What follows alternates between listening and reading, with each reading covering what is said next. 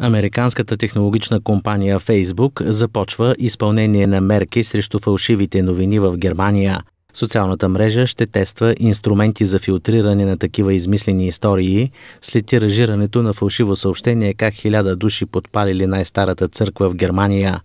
Потребителите ще могат да докладват, че определена публикация не отговаря на истината, а сигналите ще бъдат изпращани към трета независима организация, разследващата медийна група Коректив, която ще проверява фактите.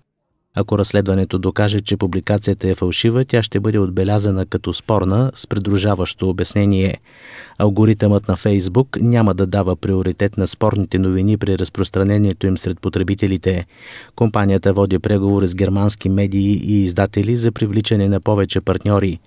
Германското правителство се опасява, че парламентарните избори през септември могат да бъдат повлияни от фалшиви новини и кибератаки срещу партии, както се случи по време на предизборната кампания в Съединените щати. Канцлерът Ангела Меркел е предупредена, че онлайн атаките и умишлените дезинформации, идващи от Русия, могат да повлияят на настроенията в кампанията за изборите за Бундестаг. Миналия месец правителството обяви, че ще предложи закон, с който на Фейсбук ще се налагат глоби от над 500 000 евро за разпространение на фалшиви новини и ксенофобска риторика.